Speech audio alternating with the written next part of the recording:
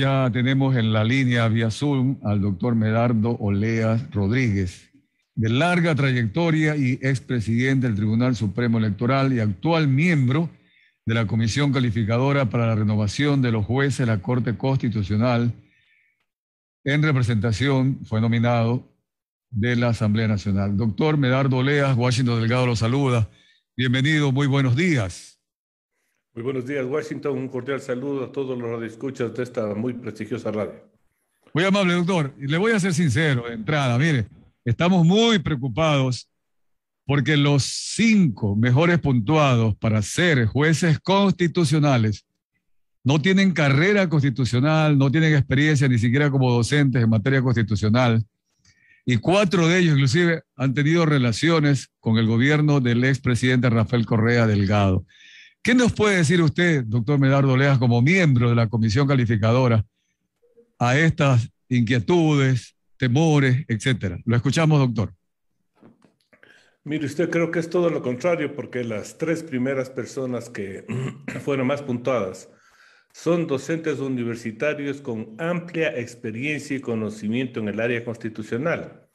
Y eso se vio reflejado en las pruebas escritas y en las pruebas orales, porque ellos manejaron muy bien la constitución, la doctrina, la jurisprudencia, porque son personas que están en el día a día. Y a mí siempre me preocupó que existan muchos profesores frente a abogados en libre ejercicio, porque el abogado en libre ejercicio, si bien sabe utilizar la jurisprudencia, no lo tiene en la memoria ni la doctrina, porque el profesor está repitiendo todos los días a sus alumnos lo que es la doctrina. Nosotros no.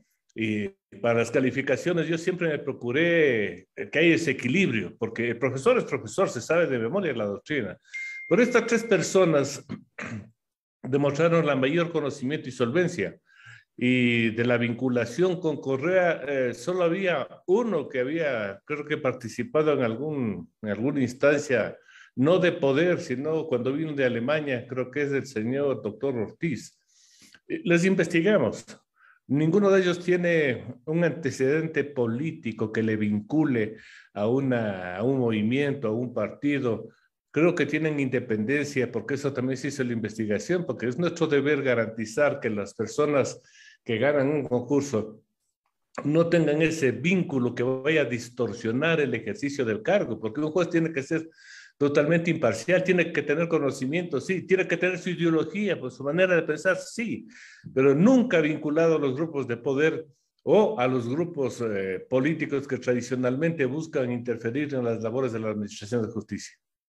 Doctor, quiero contarle, eh, de acuerdo a la revisión de la información generalizada, información pública, eh, usted dice que ellos sí conocen y han sido catedráticos de la materia constitucional. Según la información, hablan de que son catedráticos, pero de derecho, es decir, jurisprudencia, etcétera, etcétera, y no necesariamente serían maestros especialistas, por lo menos en la teoría, de la parte constitucional, doctor. Usted no dice todo lo contrario. ¿Se certifica esto? Sí, sí, sí, sí. Eh, tengo entendido de que por ejemplo, la doctora Cárdenas tiene vinculación con la Flaxo, tiene eh, vinculación con la Universidad Andina en materia constitucional.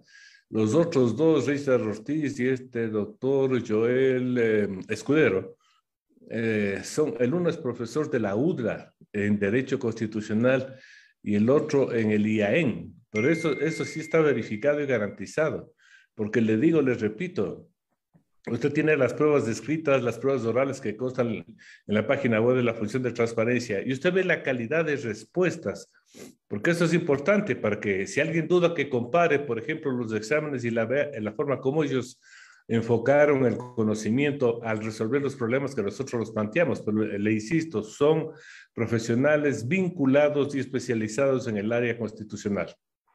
Doctor, respecto al vínculo ideológico político, no, yo estoy de acuerdo con usted, cada quien como ser humano tiene el derecho a tener libre pensamiento en este aspecto, pero acá ojalá tengamos magistrados de esta tan altura, ¿verdad?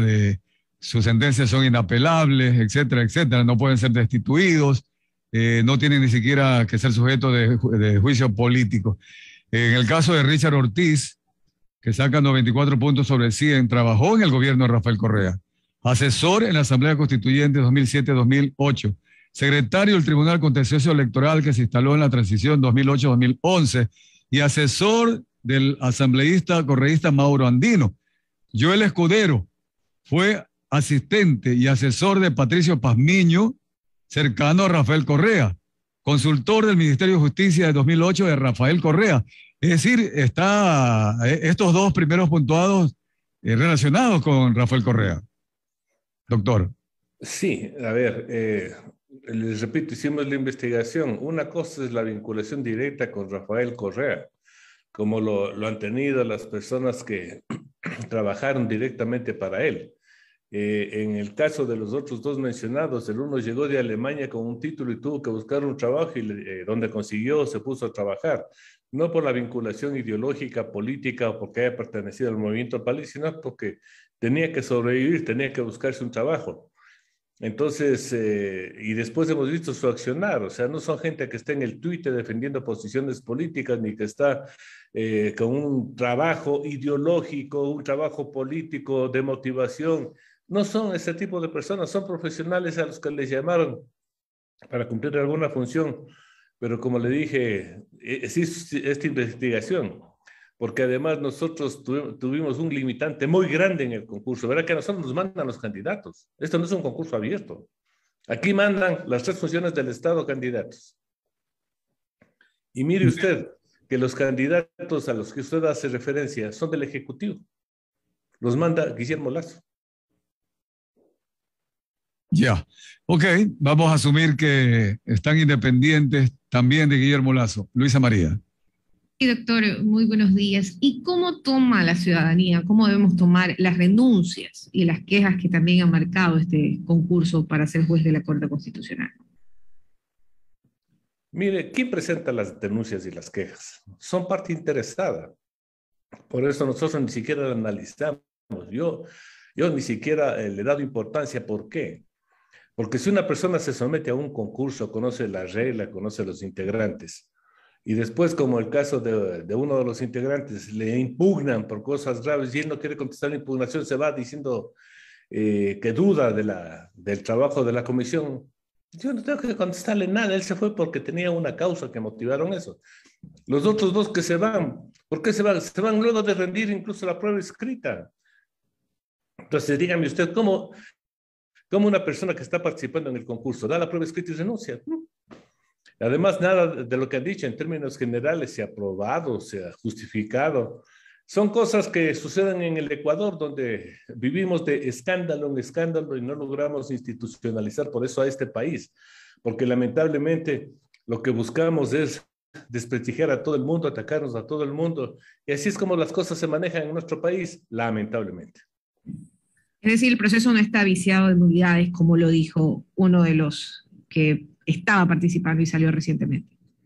¿Qué nulidad puede haber? Si nosotros hemos cumplido a rajatabla lo que dice la Constitución, lo que dice la ley, ¿qué nulidad va a haber? Que alguien creo que dijo que hay nulidad porque se separó Rafael Oyerte. Si un integrante se va, debió la función de transparencia eh, nominar a otro que les correspondía, pero no lo hizo. Nosotros seguimos trabajando. ¿Dónde están las causas de nulidad? Las causas de nulidad deben estar establecidas en la ley, pero nada de eso se puntualizó, se dijo, solamente se lanzó la pelotita y mire usted cómo hemos terminado un proceso eh, sin ningún contratiempo. Ah, eh, le puedo decir de la manera estricta como se eh, fijó el cronograma de trabajo. Doctor Medardo Lea, estos temas seguramente son incómodos pero es importante que las inquietudes de la ciudadanía sean respondidas, justamente por lo que buscamos, como usted dice, que el país se institucionalice. Y ya estamos eh, tantos años con la constitución de Montecristi. Le voy a preguntar otra parte que puede ser también molestosa. Luis Arango, quien fue síndico de la CONAIE, él acusa a la comisión seleccionadora de un posible racismo.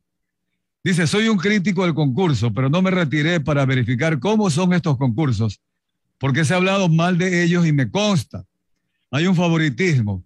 Me siento discriminado racialmente porque como es un indio nomás, pongámosle al final. Creo que el concurso moralmente se cae porque no hay una equidad. ¿Qué opina usted, doctor?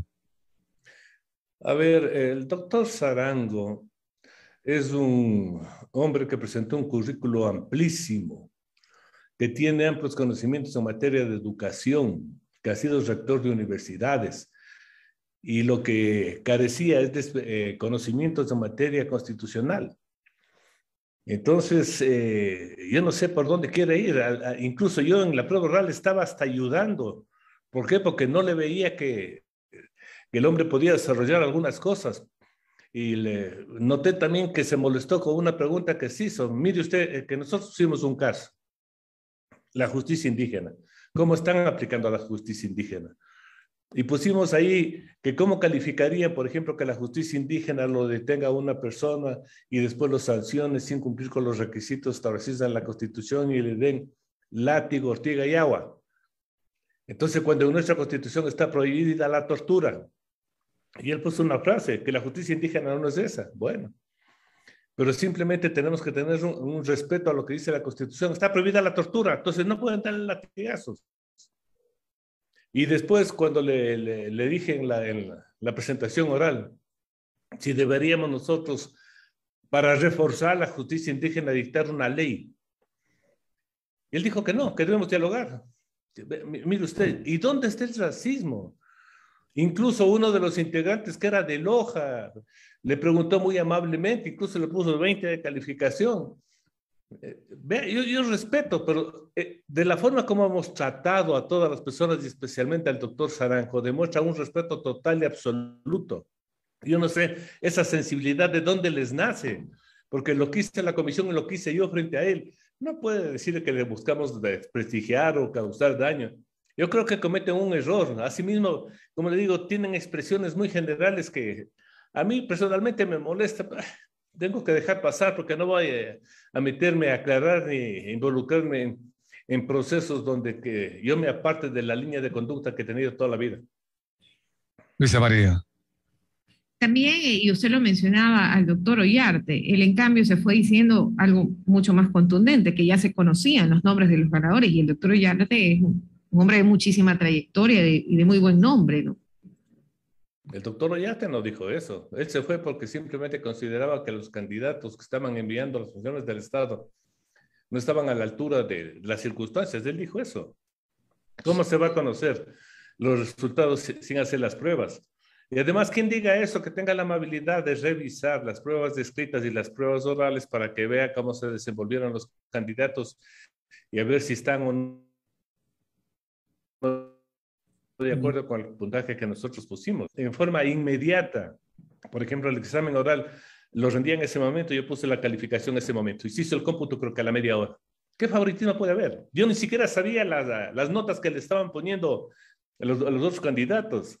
En el caso del doctor Saranco vi porque me llamó la atención de que uno de los integrantes le ponga 20 sobre 20 a una prueba que mi criterio no era para 20.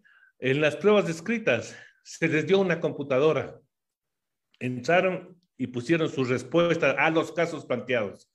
Terminado eso, se les dio, el, se les dio ahí el, para que graben ese momento la, la prueba y a los dos minutos estaba y escrita el texto de lo que ellos habían dicho. ¿Cómo podíamos saber incluso quiénes eran? Entonces yo creo que digo, se está especulando demasiado sobre cosas que no son. Este, este concurso lo manejamos bien y a mi criterio los tres integrantes fueron los que mayor conocimiento tienen. Los tres que ganaron, perdón, son los que mayor conocimiento tienen. Bien, ojalá que esto sea así realmente, doctor, es lo que aspiramos, ¿no? Pero hay que cribar un poco, hay que pasar por el sedazo todo este tipo de inquietudes y su intervención el día de hoy sirve para eso, justamente, doctor. Muchas gracias en el sentido de que la ciudadanía que nos está escuchando va a replicar, va a responder su posición. Yo le pregunto ya, aparte de los nombres, aparte de estas circunstancias, Sabemos que obviamente la nominación de los candidatos para la Corte Constitucional con altísimo eh, criterio y responsabilidad provienen del Ejecutivo, Legislativo y Transparencia, también la Comisión Calificadora. En ese sentido, doctor, ¿no cree usted la inquietud de que siendo necesario que Ecuador se institucionalice, pero que sea siempre con organismos que lo conformamos los humanos, de manera técnica, profesional, que de alguna manera cualquiera de las tres funciones del Estado se incline más por candidatos relacionados con la política, con el partido político eh, gobernante o también de alguna forma ideológica. ¿Qué opina usted al respecto, doctor? Es que debemos desterrar la política de todo. Yo eh, siempre me molesta cuando todas las instituciones del Estado buscan mandar a gente que tiene más identificación política que identificación profesional. Entonces, aquí en el Ecuador no se respeta la capacidad profesional, se privilegia la afiliación política, se, eh, se privilegia a quien aportó para la campaña, se privilegia a los amigos del gobernante de turno. Y eso hay que descartar, porque a todo nivel todo el mundo dice, si todo está politizado, y es cierto. Y eso es lo que queremos nosotros sacar de la administración de justicia, de la administración pública. Yo recuerdo, me invitan a un debate y estábamos hablando solamente de la materia de salud frente a la pandemia y me dicen que eso está politizado. Sí, esto es. Pero ¿cómo puede estar politizado el servicio público de la sanidad, de la medicina? Pero está politizado y está tan politizado que incluso se entregó como premio a los políticos el manejo de hospitales para que se roben lo más sagrado que puede haber, que son los dineros de salud. Pero todo eso tenemos que cambiar de criterio, señores. Cuando uno llega al poder, no tiene el derecho de cambiar a todos los funcionarios en provincias. El asambleísta es el dueño de la dirección de salud, de la dirección de educación, de la gobernación, de las comisarías, de todo. ¿Y quién va allá? Gente que no tiene conocimiento, capacidad, experiencia. Y por eso se distorsiona todo esto. Y al politizarlo se da un servicio eficiente, un servicio deficiente, un servicio mediocre, un servicio malo. Entonces tenemos que cambiar. ¿Cómo cambiamos, que buscar que a las instituciones vaya ¿Cómo cambiamos? Porque tenemos una constitución de Montecristi que sigue siendo cuestionada por generalidades, vacíos, ambigüedades y contradicciones. Mire usted, acaba de poner un ejemplo en el asunto de la justicia indígena, que alguien que aspira a llegar a la Corte Constitucional tiene criterios divididos o quizás opuestos con la generalidad. En este sentido, doctor, su aporte, porque usted ha sido siempre para nosotros acá referente, lo hemos entrevistado como expresidente del Tribunal Supremo Electoral. ¿Realmente la Constitución de Montecristi permite que nos unamos los ecuatorianos, que institucionalicemos al país, o es la que nos ha complicado la vida desde el año 2008? Nos complicó la vida, póngase esa función de transparencia y control social. Y le digo con los hechos. Primero, cuando se dictó la Constitución y fue una función que cumplía órdenes del gobierno, entonces dio el mal ejemplo, porque se ponía solo a la gente de Correa. Mandó, por ejemplo, a la Corte Constitucional a gente que en su vida había visto la Constitución. Una de ellas llegó a ser vicepresidenta y terminó presa por Castro Verde. Esa famosa corte cervecera que fue una vergüenza. Eso es lo que consiguieron a través de esta función. Ahora se enfrascan en tantos problemas una función supuestamente elegida por pueblo, que no pueden elegir contralor, no pueden elegir defensor del pueblo, no pueden elegir a dos eh, miembros del Consejo Nacional Electoral, no pueden elegir superintendencia de compañía. Son, es una vergüenza. Entonces yo creo que hay que buscar un mecanismo para que efectivamente el país pueda escoger a los mejores ciudadanos, pero descartando esto que la ciudadanía es la que nombra directamente. Si son cosas especializadas, la ciudadanía no va a conocer, por ejemplo, quiénes son los mejores abogados, los mejores médicos, los mejores arquitectos. Hay que buscar un nuevo diseño. La Constitución de Montecristi en eso comete muchos errores. Doctor Medardo Oleas Rodríguez, le agradezco mucho haber estado con nosotros el día de hoy. En algún momento el Diario Universo le preguntó a la señora Vanessa Aguirre, presidenta de la comisión de la cual usted es parte de la calificación. Le pregunto lo mismo a usted. ¿Usted volvería a ser parte de una comisión calificadora? Yo no, porque lamentablemente este servicio gratuito, cívico, que lo di, mire, usted tiene esta serie de distorsiones que no son reales. Entonces uno por eh, tratar de contribuir al servicio del país, al fortalecimiento de las instituciones, indirectamente eh, hay insinuaciones de que hemos cometido una irregularidad. Yo no vuelvo a prestar mi nombre para esta serie de concursos, porque lamentablemente esta es una sociedad que critica todo, hagamos bien, hagamos mal. Si hacemos bien, silencio absoluto, y si hacemos mal o hay alguna incorrección, por poco lo acaban y lo entierran. Entonces esas cosas no pueden manejarse así. Si hay una denuncia concreta que se tramite, pero que no se lance estas bolas de nieve que tanto hacen daño al país más que a las personas. Sí, es una pena, doctor. Le acoto que igual hay personas que no quieren participar como candidatos en este tipo de decisiones porque hay una mala, mala apreciación de las elecciones. Doctor Medardo Oleas, un abrazo a la distancia, muchas gracias y ánimo, pues ya el día 7 de febrero conoceremos cuáles son los tres nuevos magistrados. Doctor, gracias. Gracias a ustedes, siempre es un placer compartir y conversar de estos puntos importantes para el país. Muy buenos días. Buenos días.